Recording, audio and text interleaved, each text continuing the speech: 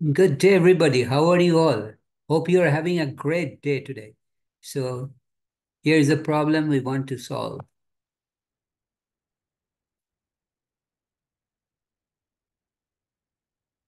Say solve by completing square and applying the square root property. z square minus 4z plus 26 is equal to 0.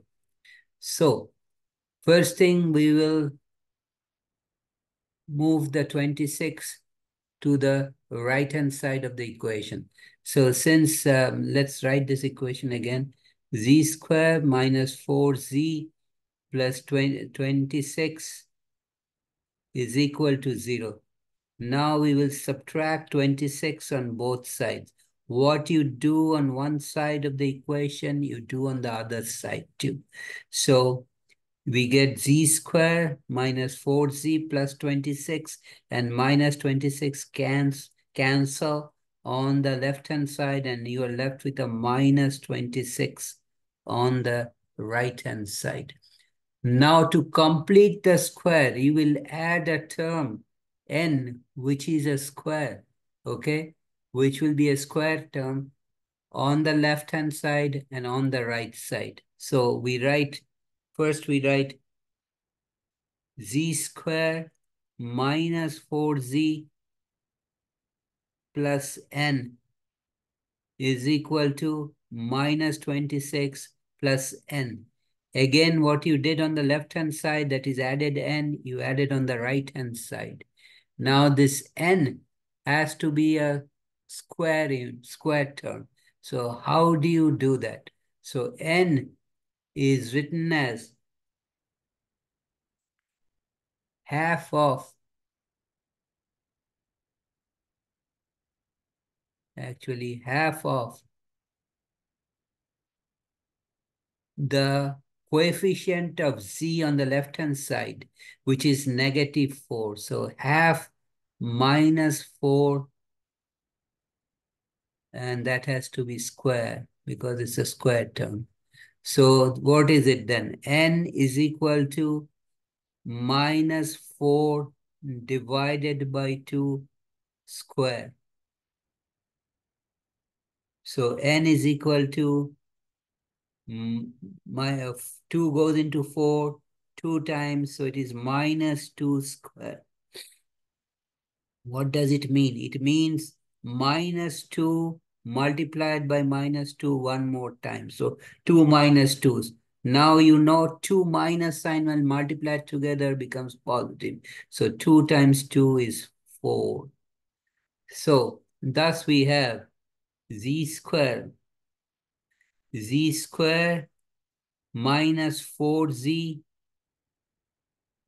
plus n is 4 is equal to minus 26 plus 4 on the right-hand side.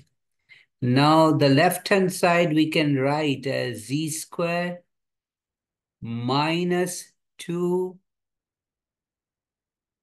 times 2 times z plus 4 we can write as 2 square. Remember I told you 4 is a perfect square which is 2 square. Now 4 minus 26, the number 26 is larger than 4.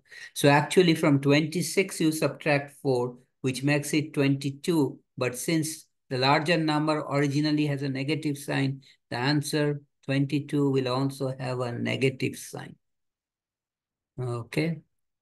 Now, remember the perfect square formula is a plus, sorry, in this case it will be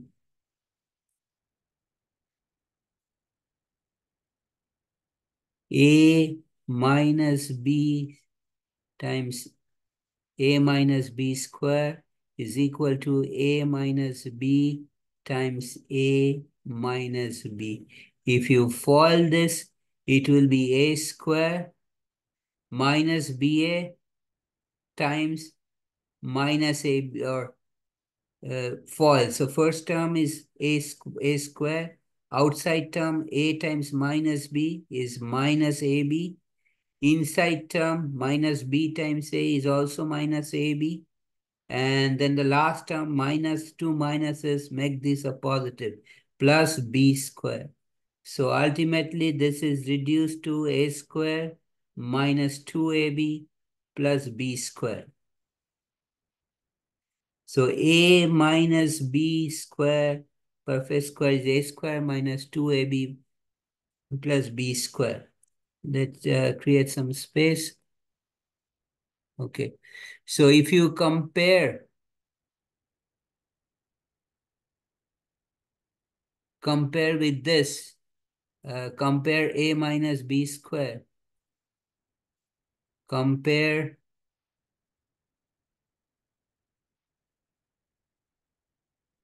with the expression on the left-hand side of the equation. On the left-hand side of the equation. Side of the given equation.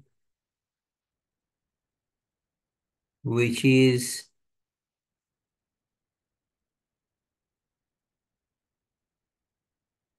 z square minus 2 z times another 2 these are minus. Another 2 plus 2 square. So here z is equal to a and 2 is equal to b. So basically this is on the left hand side is z which is a z minus 2 which is b. Square is equal to minus 22 okay. So this is completing the square on the left hand side. Now use the square root property use the square root property. Root property. Okay, so we'll take the square root of z minus 2 square is equal to square root of minus 22. But it will be a plus as well as a minus in front of the square root. Why? Because if you take minus square root of minus 22 and multiply that by minus square root of minus 22, you will get two minuses make it positive. You will get inside the square root minus 22 square which is nothing but minus 22. So minus is a possibility too. That's why we have plus as well as a minus. Now, this can be simplified. Square root of a square com square quantity is the quantity by itself. z minus 2 is equal to plus minus square root of minus 22. Now this also can be written as z minus 2 equal to plus minus square root of 22 times square root of minus 1. now square root of minus 1. So if I create some space here,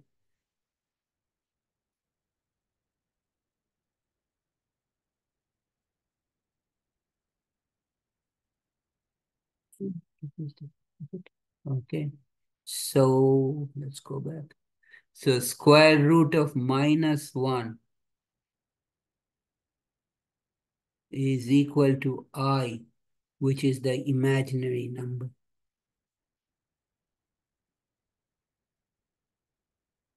So do not quit right away, okay? I have some important and at the end of this. I'll give you some important tip at the end of this presentation.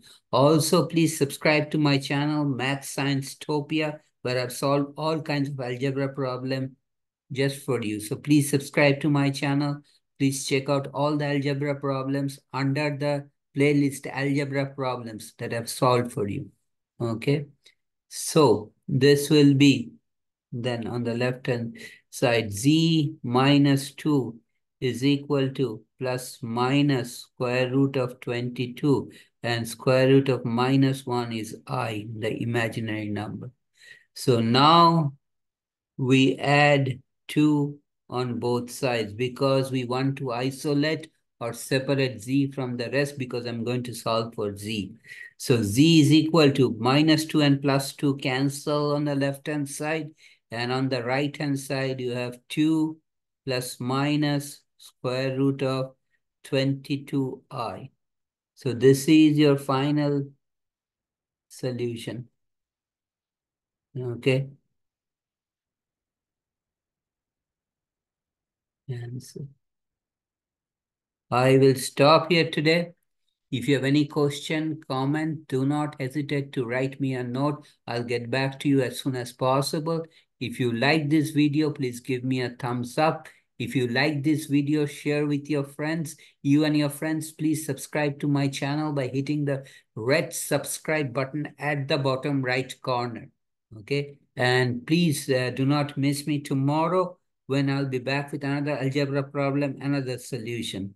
So thanks for watching. Have a nice day. Take care and see you next time.